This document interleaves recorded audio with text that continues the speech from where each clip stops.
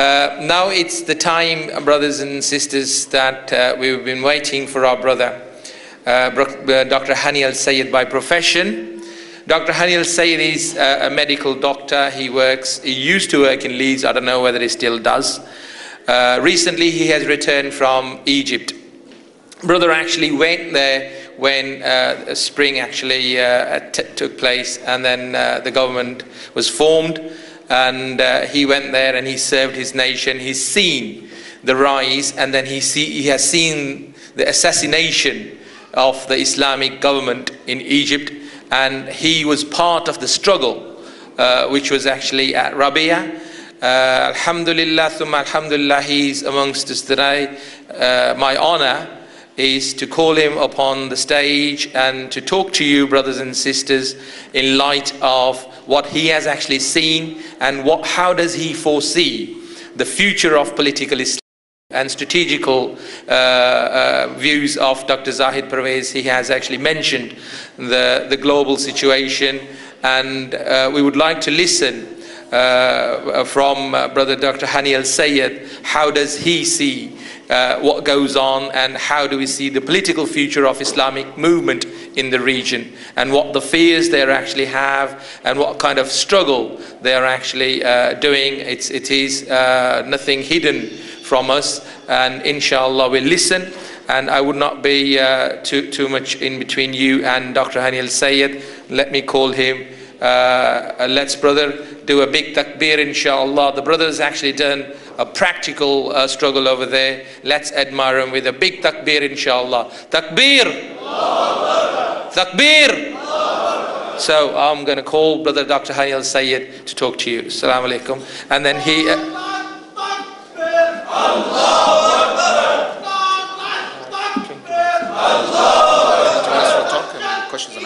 no, no, you talk.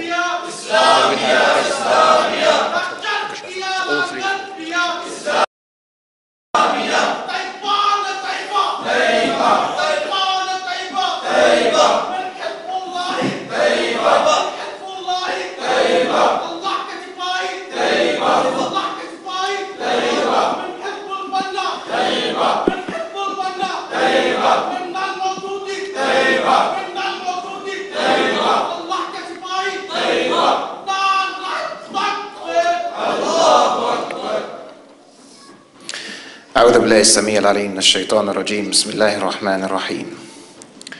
إن الحمد لله نحمده ونستعينه ونستهديه ونستغفره ونعوذ بالله من شرور أنفسنا ومن سيئات أعمالنا. من يهد مضل له ومن يضلل فلا هادي له. وأشهد أن لا إله إلا الله وحده لا شريك له.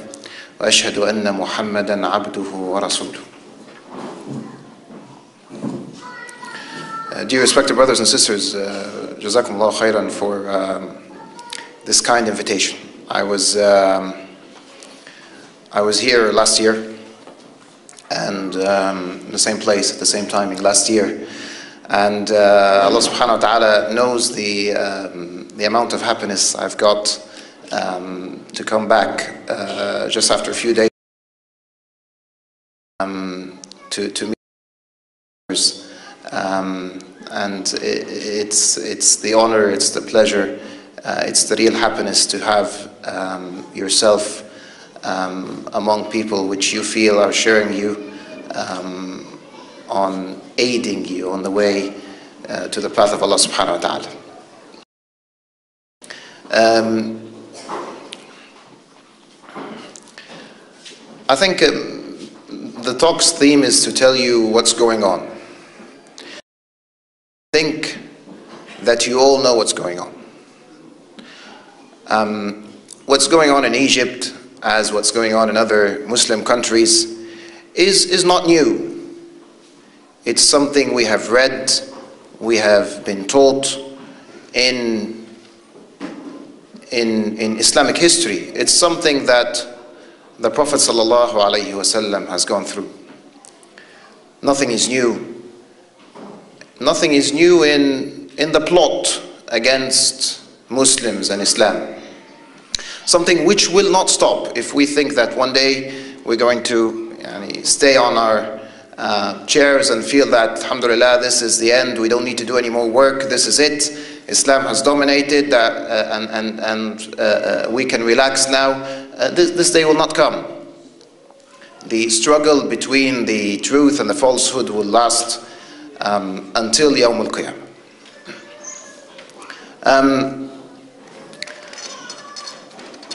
but I think what we need now is a lot of Muslims around the world, and this is the true bond of Islam.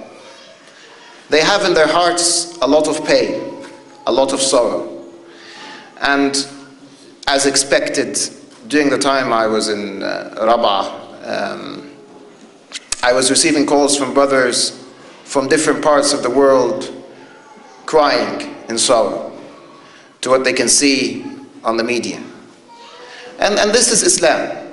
This is Islam to have in your heart the pain that you have for your own brother, of your blood, for your own family, for your son, when you see your brothers suffering what they are suffering. But with this feeling, we need to understand that yes, it is difficult. Yes, we are hurt, badly hurt. Yes, we are in sorrow. But if we cannot see the messages of Allah subhanahu wa ta'ala inside the calamity, the benefits of this calamity to us, then we're missing the main message. Allah subhanahu wa ta'ala will always, always do good to his slaves. Subhanahu wa ta'ala. And, and this is what we need to feel. What happened? What happened was what was happening 1400 years ago. There is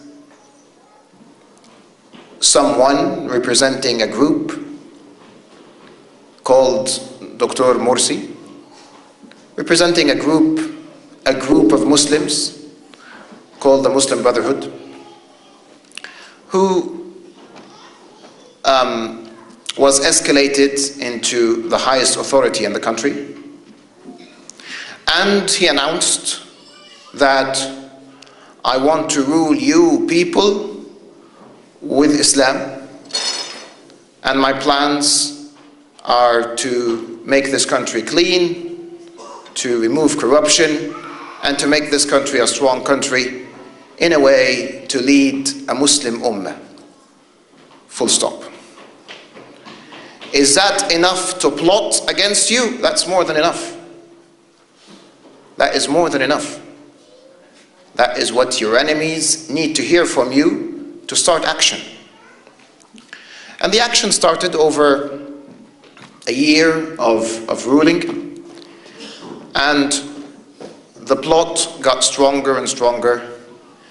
And different sects are very different ideologies. They all united for one reason, and the reason was to defeat this idea. The anti Islamic idea will be in their minds in these sects as it was 1400 years ago. What was the common ideology between the tribe of Quraysh and the tribe of Ghatafan and the Jews of Bani Qurayza when these three sects united against the Muslims in, in the battle of, of the trench, the Khandaq? What was common among them? Nothing in their ideologies. They had one common goal is that they want to defeat this Muslim message, this um, wish to rule in a clean, non-corrupted state is something which conflicts their interest. So we have to unite to defeat that. And this unity is exactly what happened. Everyone united against you, against us. Everyone. And it didn't start on the 30th of June, started long time before that. And the assumption that we had that when people are offered a clean, non corrupted option of living in this country, they will automatically accept it is incorrect. Because this, this country has been living in a deep state of corruption for the last 60 years. The same people, the same groups, the same organizations, the military service, the police, the media.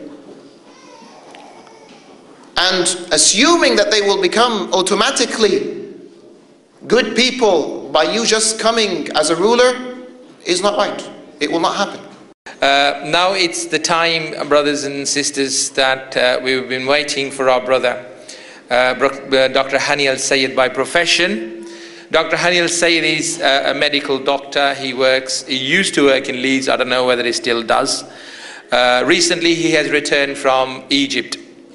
Brother actually went there when uh, spring actually uh, took place and then uh, the government was formed and uh, he went there and he served his nation. He's seen the rise and then he, see, he has seen the assassination in light of what he has actually seen and what, how does he foresee the future of political Islam and strategical uh, uh, views of Dr. Zahid Pervez. He has actually mentioned the, the global situation and uh, we would like to list of the Islamic government in Egypt and he was part of the struggle uh, which was actually at Rabia.